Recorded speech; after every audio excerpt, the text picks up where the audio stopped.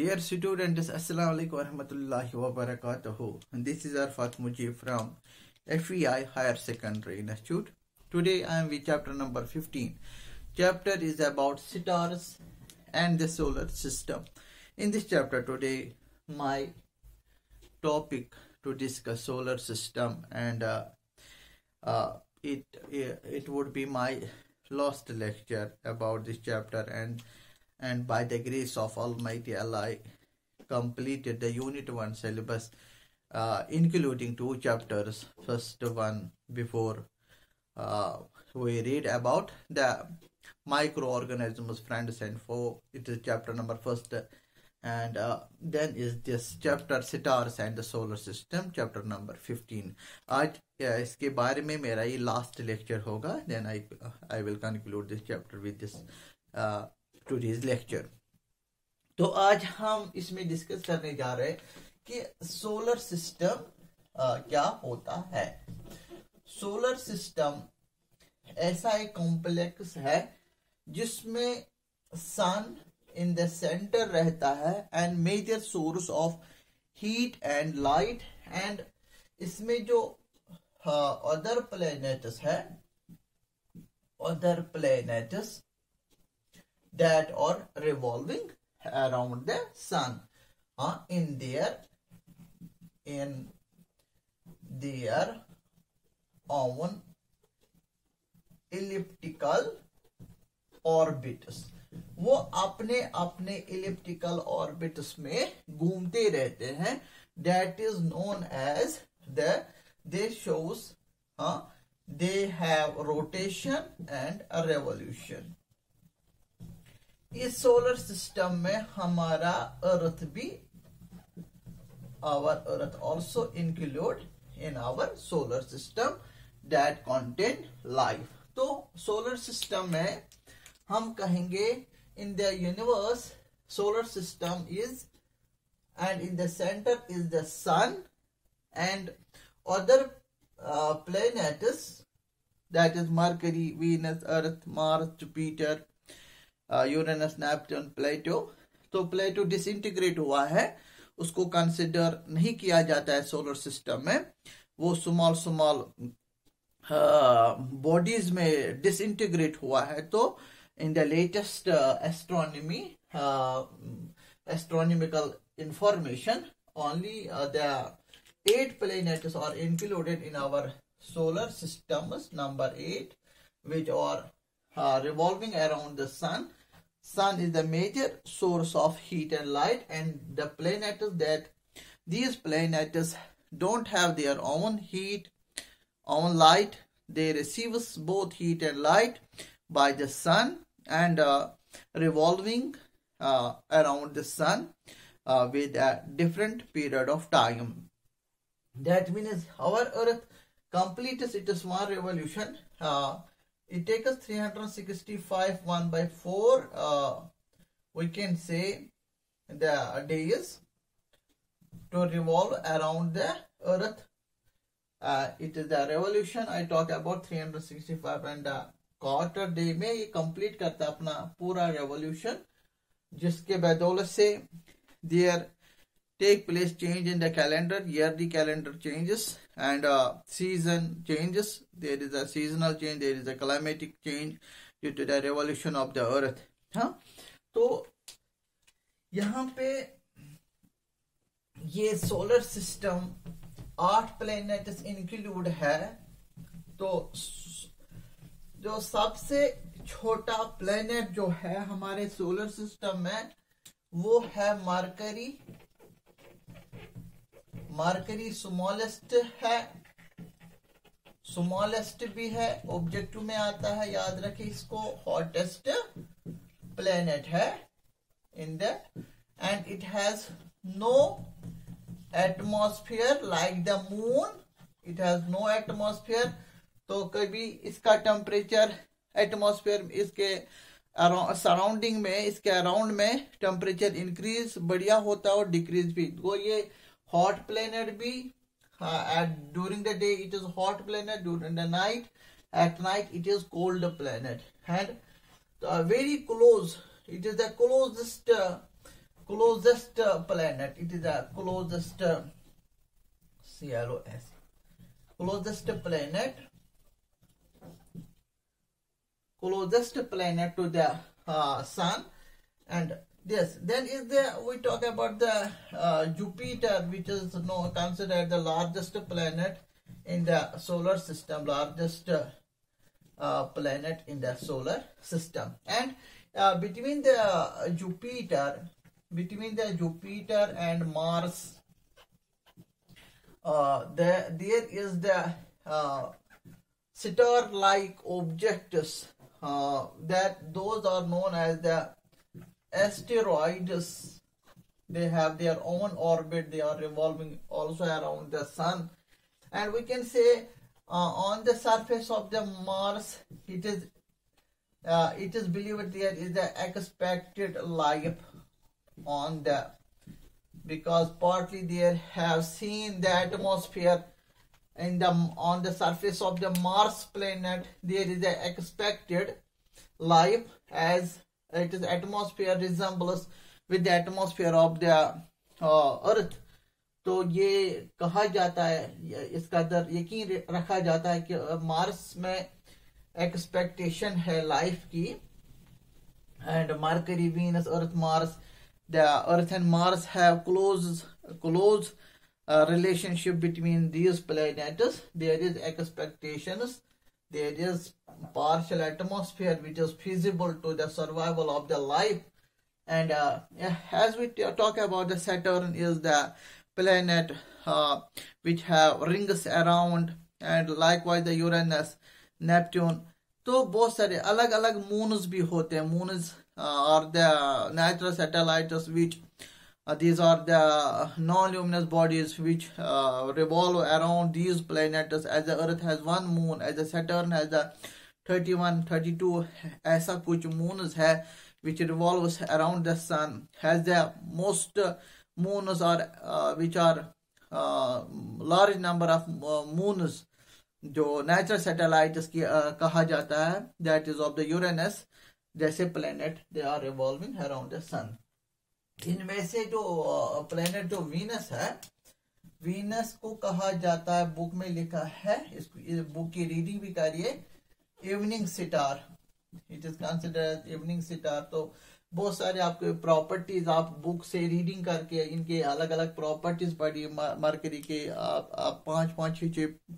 Points निकाल लीजिए। Point इन planets के बारे में आप पॉइंट आउट करिए और बुक की रीडिंग करिए वहाँ पे बिल्कुल डिटेल्स में वहाँ इनके बारे में है। तो ये solar system including the eight planet which revolve around the sun and in the space there are other bodies we talk about that with the solar system there are some associated objects I talk about the asteroids aster asteroid. These are known as the uh, these are known as the minor stars. Actually, these uh, these are the fragmented. They are they are considered as fragmented rocks. These are the fragmented rocks और metal object हम कहेंगे metallic metallic object these asteroids are found between शबाश between Mars and Jupiter like planet Mars and Jupiter they are found between the Mars and Jupiter they are and in there on orbit there is a, a band of there is a band of asteroids belt of asteroids uh, that are also revolving around the sun revolving around the sun in their इनके अपने orbit में ये घूमते रहते हैं they they form these asteroids particles rock particles from a band belt in a belt that that band elliptical band is between the Mars and Jupiter and are are also revolving around the sun in their own orbit. These are considered as the fragmented rocks, or we can say the metallic objects. Ye believe, uh, it is believed that these asteroids are the derivatives of ye uh, believe uh, uh, derived these are uh, themselves very uh, derived from from other other planets on collision कहा जाता कि during the evolution of the universe uh, collision on collision ये कहा जाता है, इनका जो derive हुआ है ओरिजिन हुआ है, वो दूसरे प्लेनेट से ओरिजिन हुआ है। ये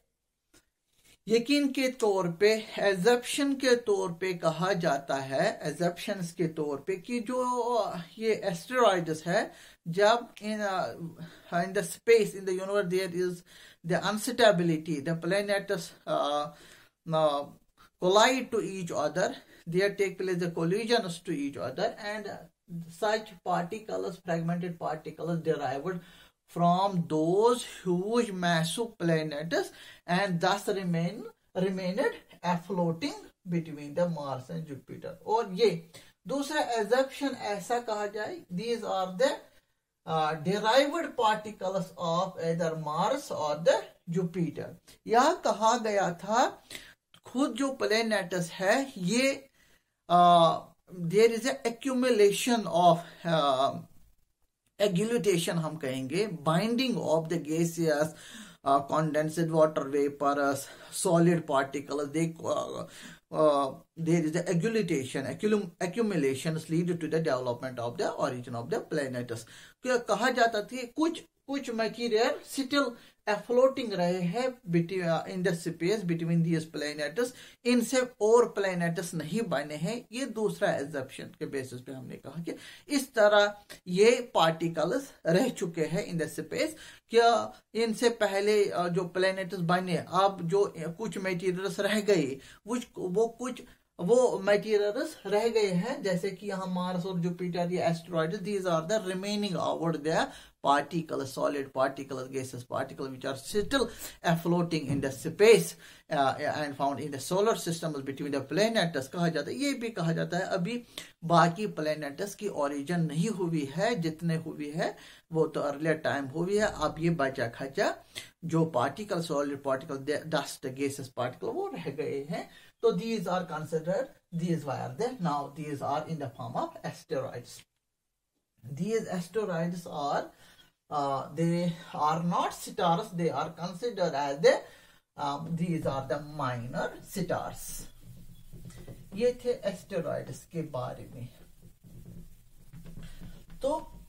एस्टेरॉइड एक खास एस्टेरॉइड का नाम मैं बताऊँगा यहाँ पे जो special asteroid that is the Ceres series एक ऐसा एस्टेरॉइड है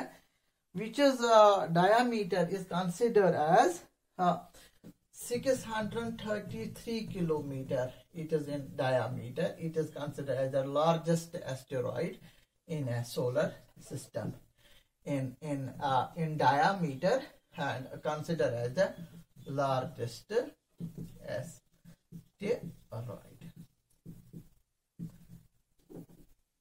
This type of asteroid this type of asteroid Ceres is uh, is of diameter 333 kilometer as is considered the largest asteroid. And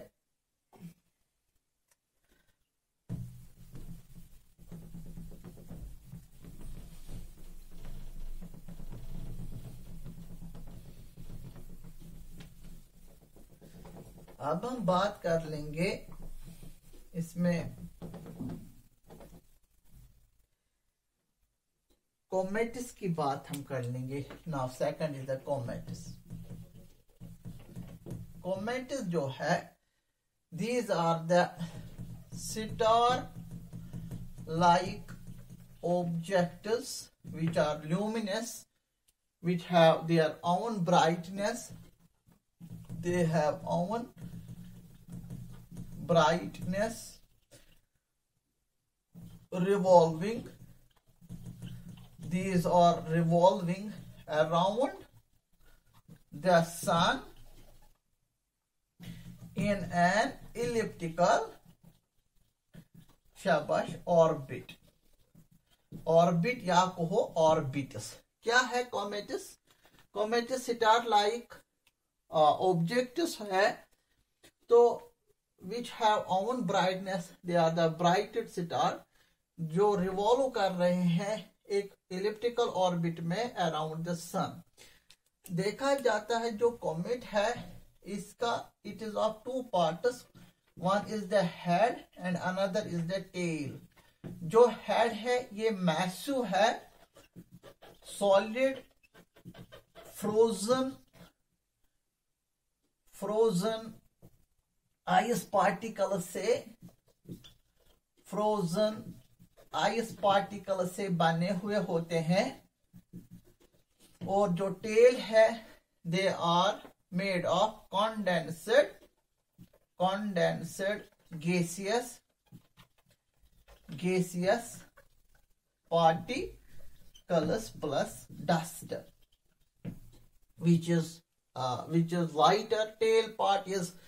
it is very far away. It is very long and as head is massive solid made of frozen water particles. Uh, frozen ice particles that is a, that is a frozen form of water is in uh, that forms the head and tail. The comments are of the head. They are revolving around the when they are these bodies these objects are revolving around the the lighter part just a tail part this is the lighter part gaseous part it move away when when we are revolving something when there is a mm, uh, circular motion the lighter part is moving uh, away and the heavier part is moving towards the center. And in the view the comet just look like the they are the tadpole shape. They have the head and tail uh, during the revolution around the sun. Uh, we can say the comet jo hai they take the longer time. They take the most longer time longer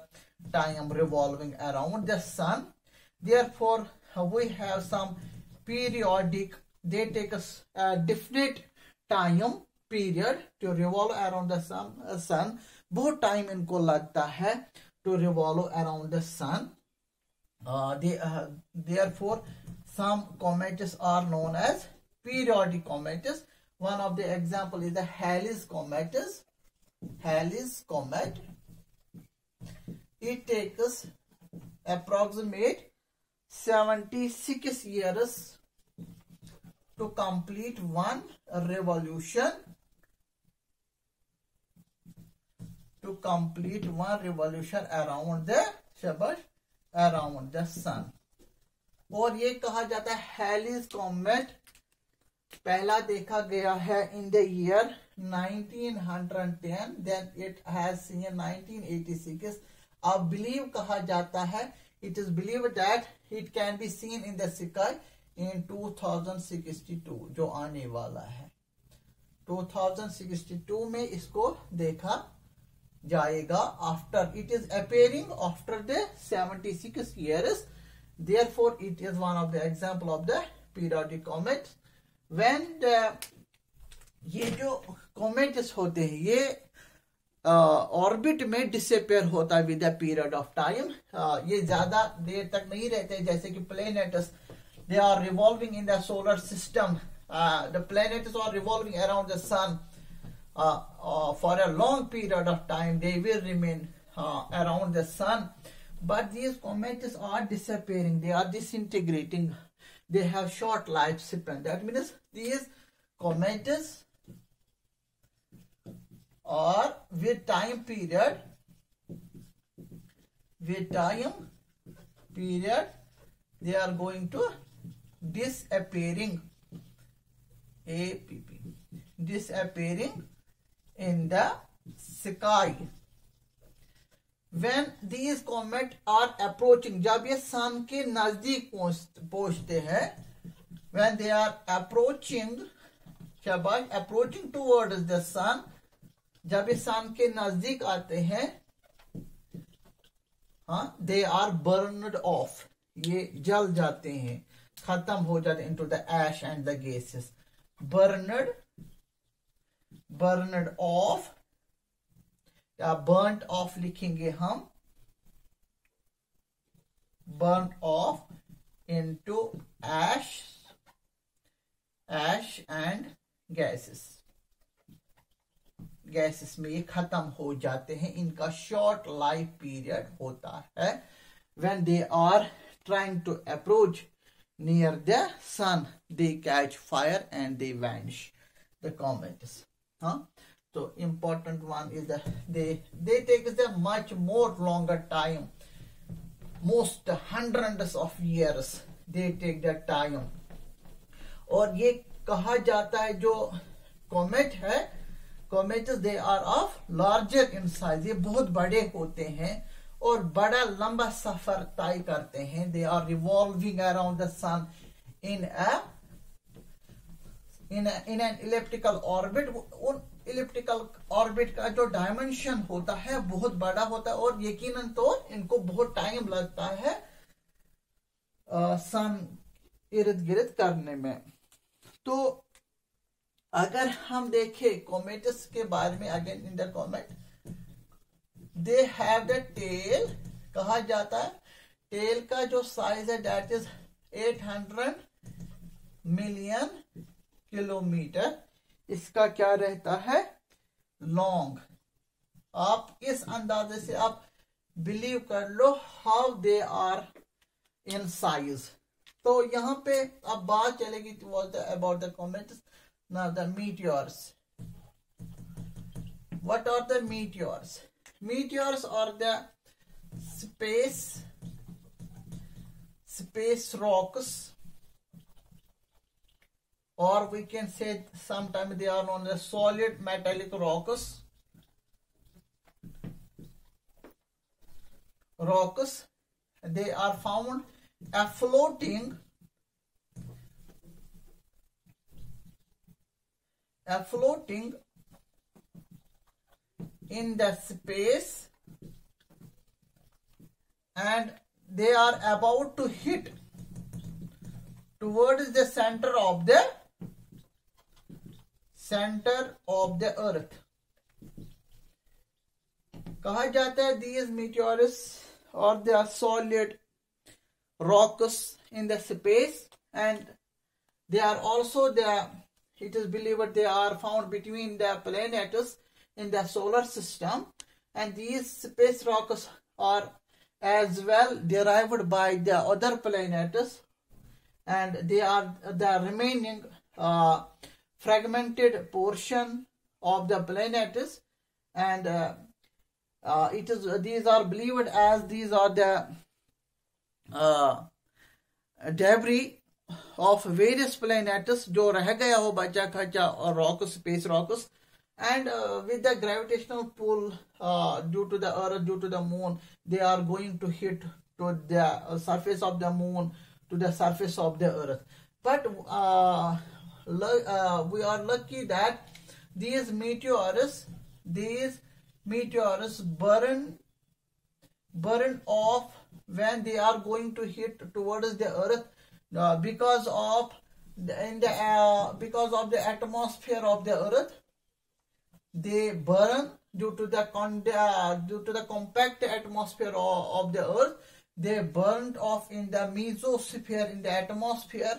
atmosphere में एक layer आती है that is known as the mesosphere जहाँ पे इनकी when they are going when they are to hit to the earth surface there is a force of friction There is force of friction between the between these rocks and the air के बीच में friction रगड़ रहती है friction रहती है तो जिसके कारण वहाँ एक इसको इग्निशन टेम्परेचर मिलता है जिसके कारण ये जल जाता है और फिर when it burn off then uh, it uh, it is off it is uh, burns into the ash and and gases ये गैसेस और एश में कंज्यूम होता है now there is the no chance to hit to the earth and uh, in, in the primitive earth uh, uh, primitive earth is mostly hit, hit by these uh, meteors these primitive uh, these rocks and the earth primitive earth uh, uh, often oftenly hit by these rocks and a lot of the animals plants and lot of the land areas has been devastated uh, by the hitting of these meteors बहुत तबाह हो गई है जब ये hit करने लगे अर्थ को I talk about the early evolution I talk about the primitive type of earth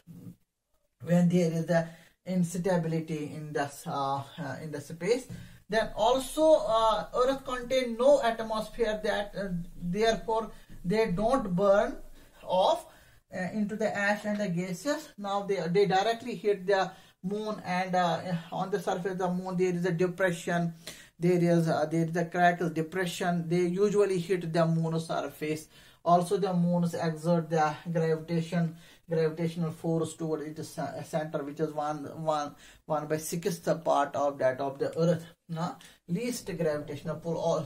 because of that gravitational pull these meteors space rocks also going to hit the moon. And due to the atmosphere of the earth mesosphere there is a force of friction due to that. These meteors before they hit to the earth surface they are burnt off. Now there there is a meteors there is a meteorite meteorites ये exam में question आता है what are the difference between the meteors and the meteor meteorites so meteors क्या होते हैं they are the space rocks which are going to hit the earth's surface they are available they are just floating and revolving in the space uh, also around the sun sometimes they uh, they are attracted by the earth they are attracted by the other planets towards and they are going to hit Now the meteors जो होते हैं uh, these are known as the जो meteors होते हैं uh, these are the unburned we can say un अनबरंट जो rocks होते हैं अनबरंट rock जिनको हम कहे अभी हमने कहा इनको मीटियोरस हाँ अनबरंट रॉक्स जो होते हैं मीटियोरस हम कहेंगे unburnt rocks in the space अब इन इनमें जो ये जो space when they are found in the space and they are in unburn they are not burn they are in the physical in state at that time they are known as the meteorites तो उनको उस वक्त नाम पढ़ा जाता है। It is a difference between when uh, it is the when meteors are going to hit the earth's surface they burn off into the ash or the grasses. Or sometimes they not burn off there is a chance that they definitely hit uh, the they are the massive they are the rocks they are the huge rocks like the pebble they could be pebble they could be uh, certain tons of their certain tons in weight and could hit the earth's surface. Tabahi mach sakti hai meteor se when they are now when they are going to hit when they are uh, uh, when they are present in in the space and they are informed in physical in state in the space they are known at the time they are known as the meteor meteorites meteorites क्या होते हैं हम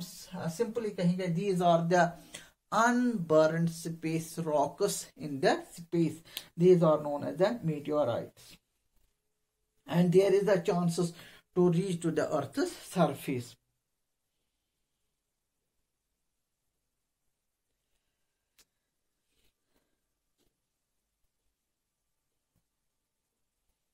Therefore, meteor, uh, I, uh,